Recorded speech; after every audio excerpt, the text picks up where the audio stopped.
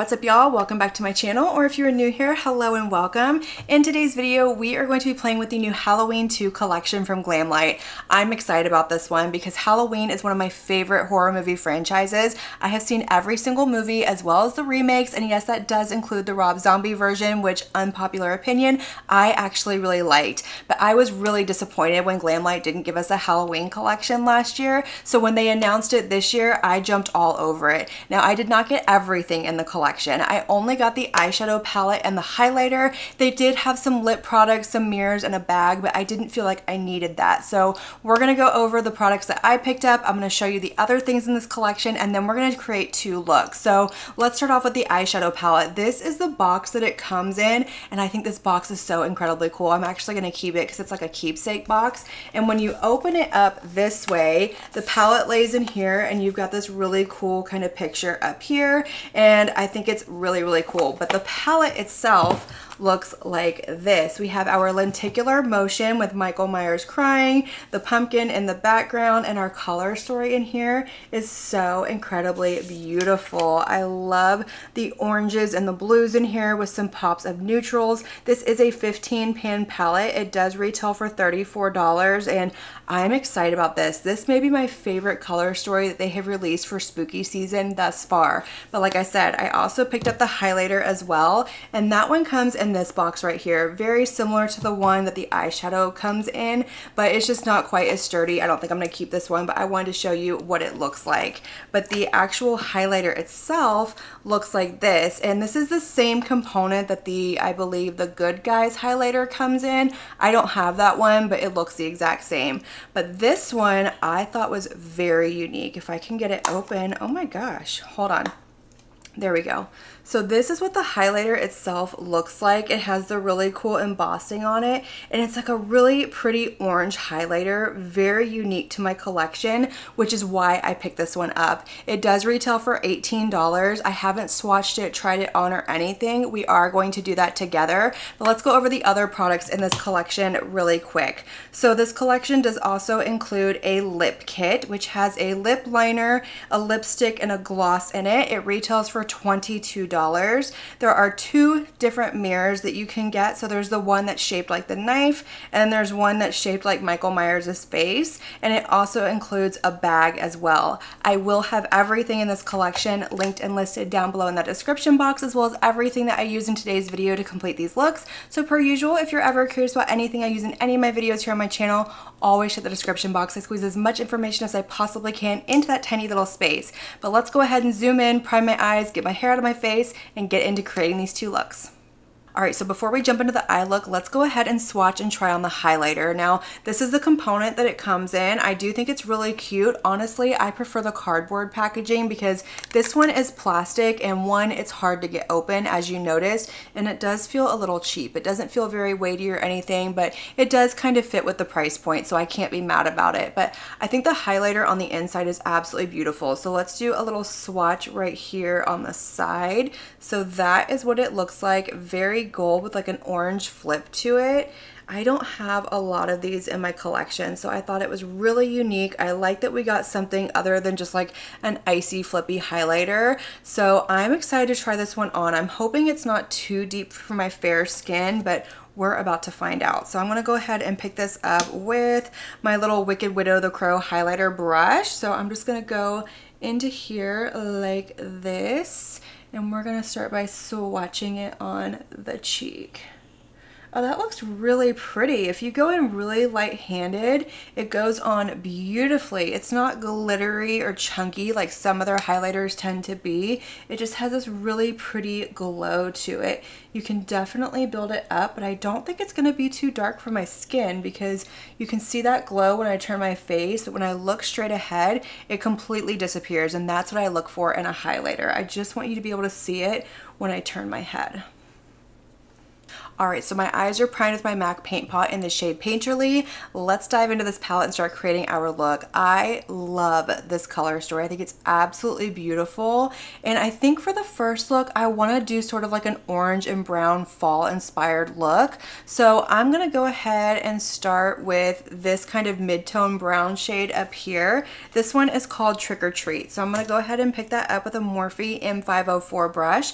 And I'm gonna start by kind of fluffing this into my crease, building up a little bit of depth and definition, really just kind of giving some shape and definition to the eye, like I said. So I'm going in kind of light-handed. I really just want more of a soft wash of this shade just to kind of have something to start to build this look off of. Now, I do really enjoy the Glamlite formula for the most part. We've had some pretty rocky palettes in the past that don't have the best formula in them, but I will say based off of what I have tried from the brand, they kill it when it comes to their Halloween collections, no pun intended. So I'm really excited about this one. I haven't had one of their Halloween releases be disappointing. I don't have every single one of them. Um, I did pick up Camp Crystal Lake, which you will see in a video very, very soon, maybe even tomorrow, I think.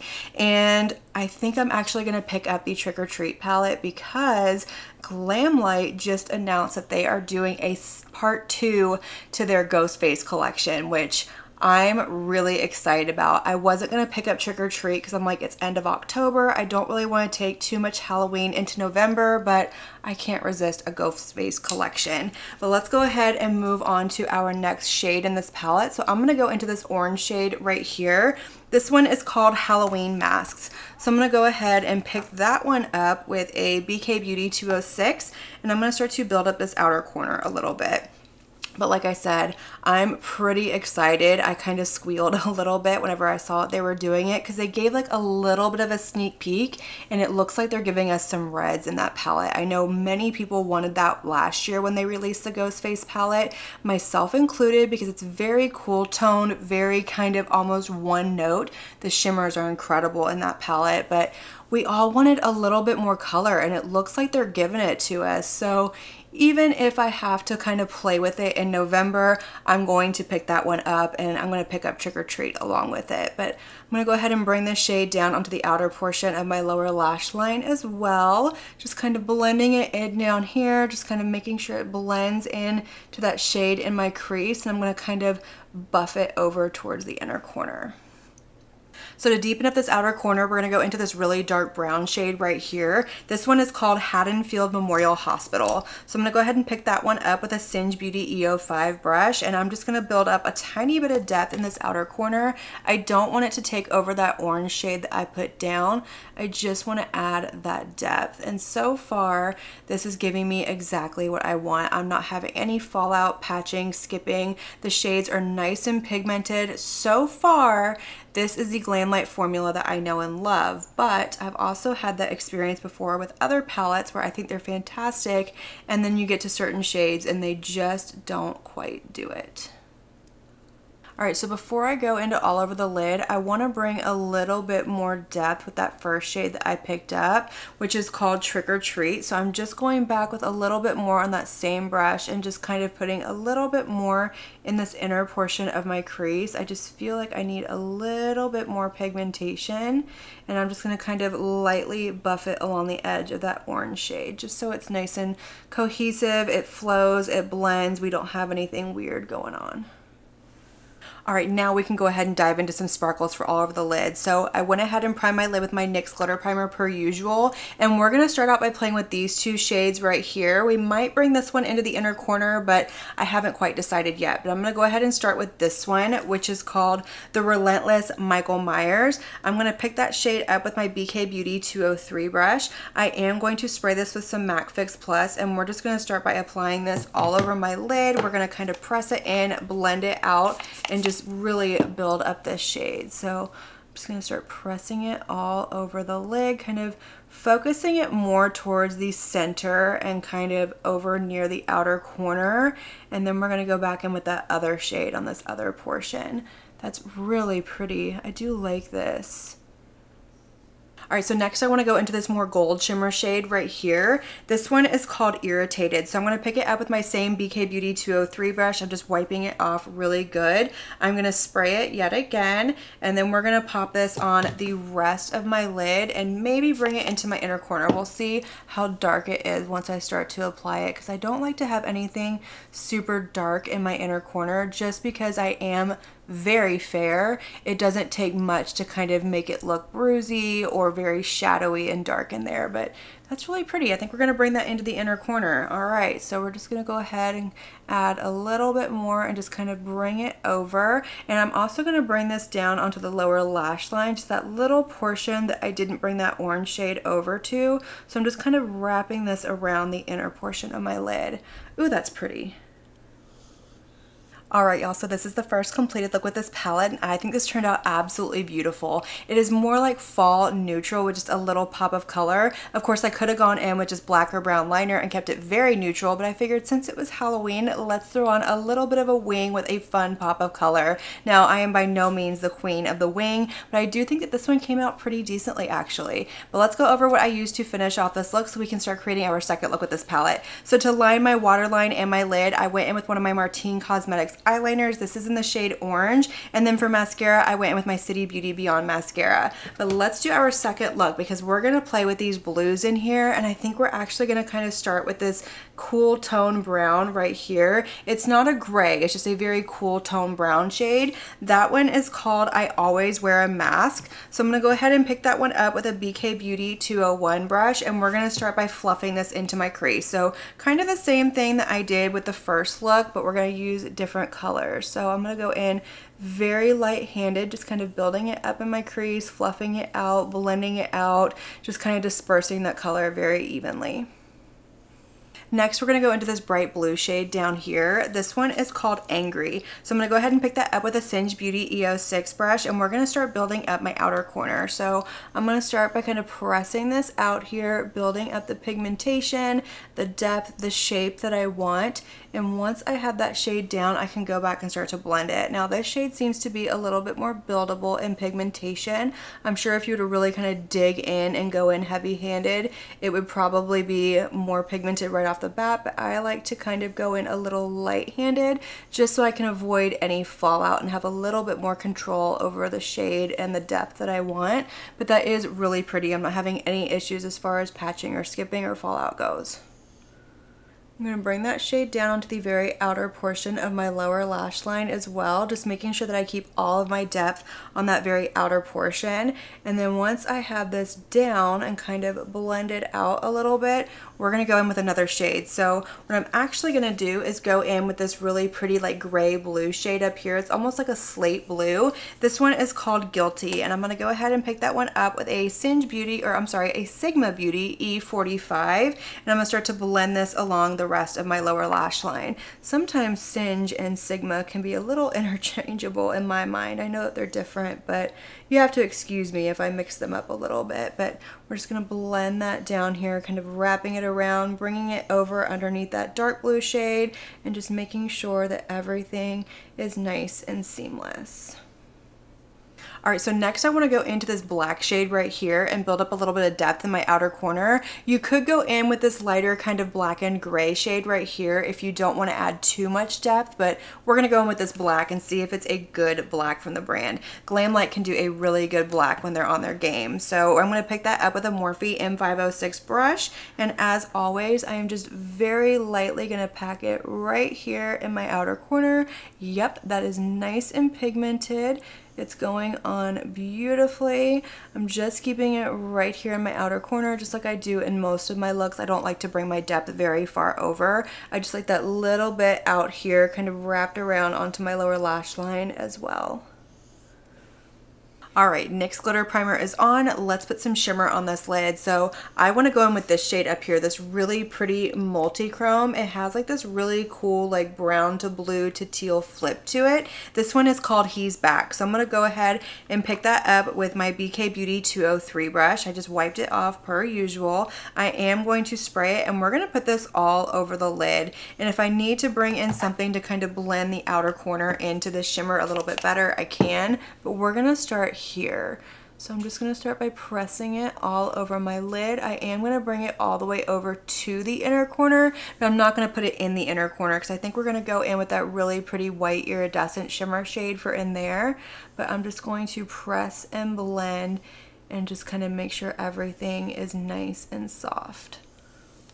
All right, so this is what we're looking like, and I think it blended pretty good, but I wanna blend it just a little bit better. So what I'm gonna do is I'm gonna go in with this shimmer shade down here. This one is almost like a duochrome. It has like a blue teal flip to it, whereas this one is more of a true blue. So I'm gonna go in with this one, which is called Killing It Since 78. I'm gonna pick it up with that same brush that I just used. I'm gonna spray it once again, and I am just lightly going to kind of blend this right where that matte and that shimmer meet. Just because it's a little bit darker, it's going to give us a little less contrast and more of a blend. Yep, just like that. All right, let's go ahead and finish up this look with this shade right here in the inner corner. This one is called One Good Scare. So I'm gonna pick that up with a Singe Beauty EO1 brush, spray it per usual, and we're gonna pop this in the inner corner. I'm also gonna kind of blend it down onto my lower lash line, blend it up onto my lid, just so everything blends together. And that is going to complete our second look with this palette. I like this look. I think it might be my favorite of the two. I'm really loving the cool tone blues in the crease with that teal multi-chrome all over the lid. And I think that white iridescent in the inner corner really brought this look to life. But let's go over everything that I used to finish up this look so we can turn the lights down and we can see the shimmer, the shift, the sparkle, and then close out this video. So in my lower waterline, I went in with a Juvia's Place, what is this called? The Nubian eyeliner. This is in the shade Royal. I lined my lid with my Zeesea liquid liner and then finished everything off with my City Beauty Beyond mascara.